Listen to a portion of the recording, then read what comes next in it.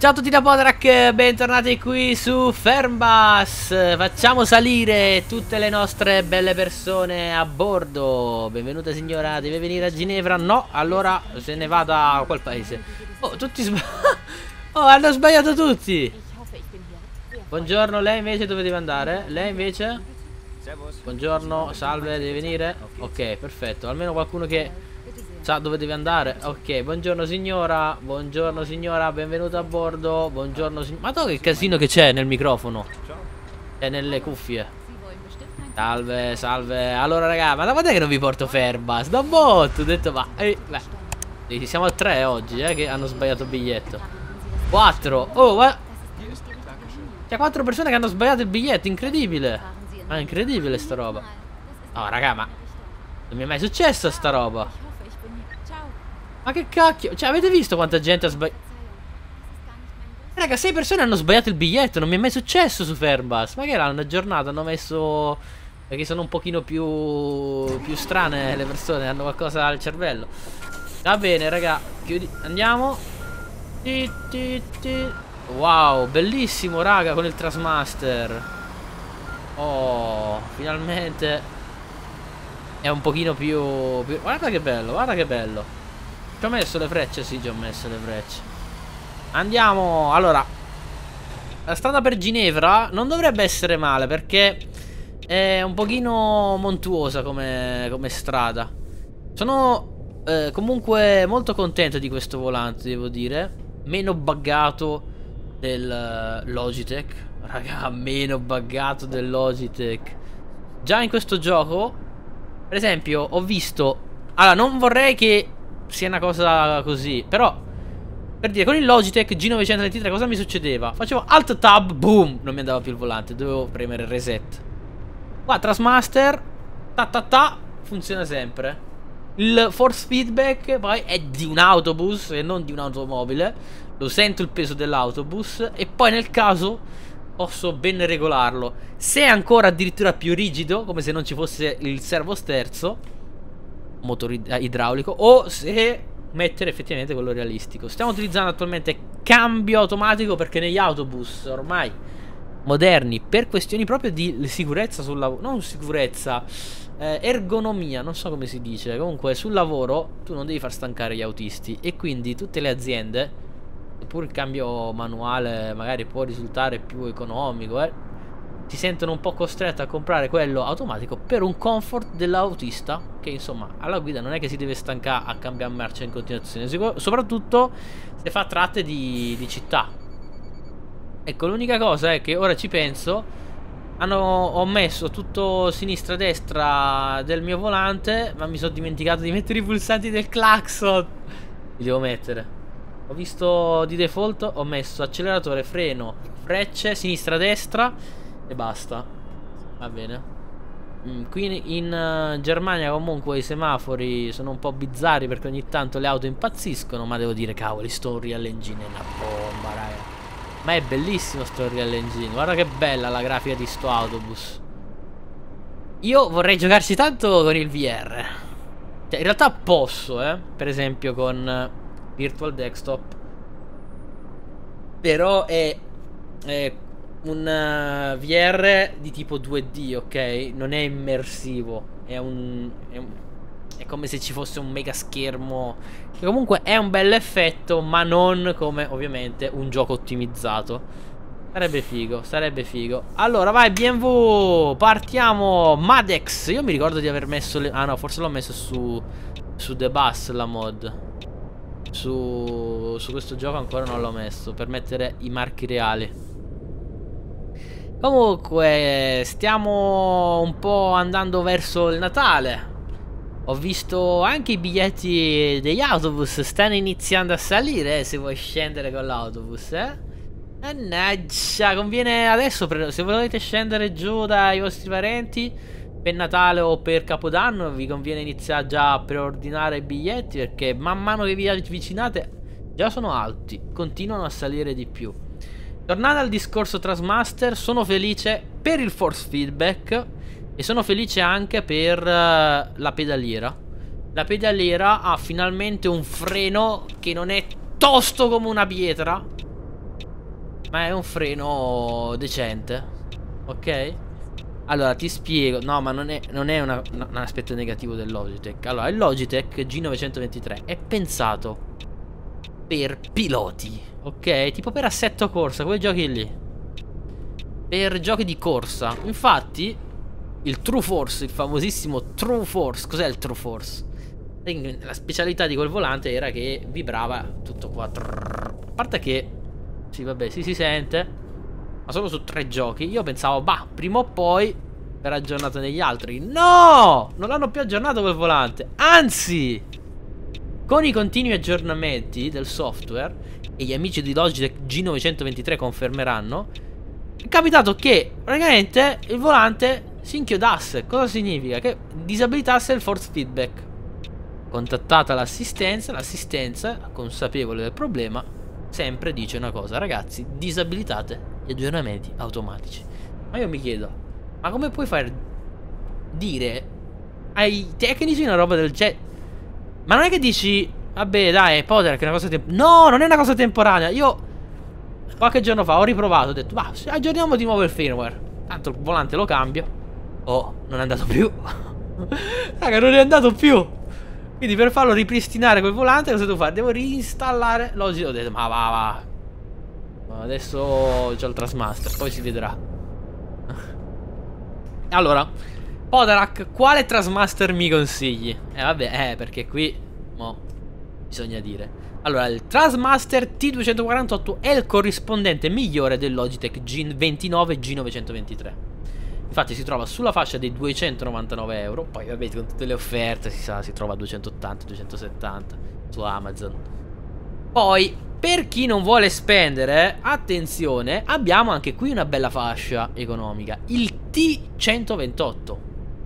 Il T128 è praticamente lo stesso identico volante, ma cosa abbiamo in meno? Abbiamo in meno, innanzitutto, un incidente in meno. Allora lì che ho fatto. Mi si è attaccata l'auto! Oh! Non si stacca più! Ok si è tolta. Perfetto. Un altro incidente Perfetto. Abbiamo innanzitutto non c'è il display Qui c'è un display Che praticamente in alcuni giochi eh, ti, Tipo nelle auto da corsa Ti mostra il giro motore La marcia Tipo su Eurotrack le marce In questo momento non mi dice niente Perché probabilmente questo gioco non è stato sfruttato Ma volendo si può sfruttare e abbiamo una pedaliera diversa rispetto al T248. La pedaliera è di plastica nel T128 e non c'ha la frizione. Non mi ricordo esattamente, ma so che nel T248 la pedaliera io volendo poi la potrò cambiare. E secondo me nel T220, nel T128 pure. Non vorrei dire una cavolata. Andate a vedere prima sul sito di Trasmaster. Questo cosa significa? Significa che se dovessi decidere, dici, oh risparmio, prendo il 128, la pedaliera non mi piace, nessun problema, ci giochi effettivamente, fai l'evoluzione con una pedaliera più professionale. E già di base quel volante, ah non l'ho provato ancora, mi piacerebbe provarlo ma per darvi un feedback a voi. E quel tipo di volante secondo me a force feedback potrebbe essere molto simile a questo T248. Solo che appunto costa meno perché probabilmente ha una pedaliera inferiore e non ha il display sul volante, ma ha dei LED. Sarà così? Non lo so. Chi ha magari il T128 mi saprà dire nei commenti. Poi darà che effettivamente io l'ho provato, mi trovo bene, non mi trovo bene, scrivete voi nei commenti. Io comunque in descrizione penso che vi lascerò Trasmaster come volante principale. Ma perché? Innanzitutto a livello di collaborazione con le software house con cui io gioco, Trasmaster è la, al primo posto. Col Eurotrack Simulator 2, la SCS Software collaborano e fanno un software ottimizzato. Con la Giant Software collaborano e adesso uscirà un accessorio strafigo che si chiama Sim Track. Praticamente posso, potrò attaccare in questo supporto il T 248 e avere il volante tipo finalmente da camionista.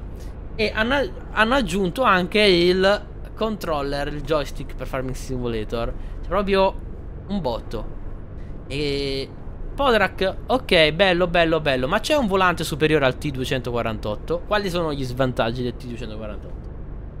Il T248, l'unico svantaggio particolare è che come il G29 G923 si tratta di un volante con corona fissa. Cosa intendo con corona? Vedete questa, questo coso che sto girando? Ok, in pelle? Non lo puoi rimuovere.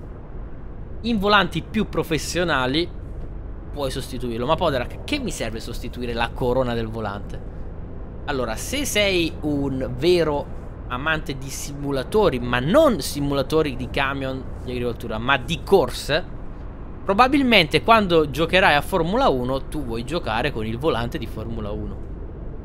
Ecco, con questo T248 rimane sempre questa forma, ok? Rimane sempre questa forma. Con volanti superiori tipo il T300 già, che costa 499 euro. Invece la corona puoi sostituirla, quindi non solo hai il tuo volante super mega premium, ma in più puoi sostituire la corona all'occorrenza. Poi c'è il G2, TG2, non mi ricordo come si chiama esattamente, che quello è il top di gamma di Trasmaster e quello è il top di gamma per le corse, insomma, se giocate con quello. Però per Eurotrack Simulator 2, per Farming Simulator, quel volante da 599 euro, 699 euro è un po' troppo esagerato. Vi ho già fatto un mega riassunto di quale volante scegliere, però tanto è anche un discorso un po' vuoto perché sto parlando di questa cosa in un gioco di autobus. Non penso dirò nel titolo come quale volante scegliere, è un po' molto difficile che qualcuno lo vedrà, quindi sì, adesso quanti siamo? In uh, un centinaio di persone hanno visto questo video, magari hanno ascoltato le mie parole, si sono acculturato un pochino su quale volante scegliere, però poi mi verrà lo stesso richiesto come, come quale volante acquistare. Allora, ho notato una particolarità di questo amico Fernbus. Dall'ultimo aggiornamento, che è passato tanto tempo, l'intro lagga un botto. Cosa significa? Che cacchiarola neanche... Boh, neanche... Sembra di andare a 2 fps nel menu. Poi nel gioco, vedete, si gioca bene, ma non ho capito sta roba di questo problema che hanno messo. Alex, Alex Pandolfi, l'amico mio della TML Studios. Ma non è della TML Studios, però segue tantissimo i miei gameplay di Airbus e The Bus. Anche tu hai questo problema dei lag nel caricamento di, di Fernbus? The Bus no, no, non ha problemi. Almeno, non mi ricordo in questo momento. Vai, mettiamo la freccia. Let's go. Ginevra, stiamo arrivando. Allora, diciamo questa mappa base è un po' spoglia ci si diverte di più quando ci si avvicina verso la città quando ci si avvicina dentro all'interno della città tipo Ginevra di solito c'è la particolarità dove eravamo prima avete visto c'era tipo una specie di montagna. Molto figo molto figo molto realistico. Vediamo se andando verso Ginevra ci dà effettivamente qualche paesaggio un pochino più caratteristico del luogo più particolare. Io comunque ringrazio tutti i miei abbonati, il mitico Henry95, l'ucraino che hanno visto continuato a rinnovare l'abbonamento insieme a Davide e Xia che anche loro ringrazio tantissimo per il supporto.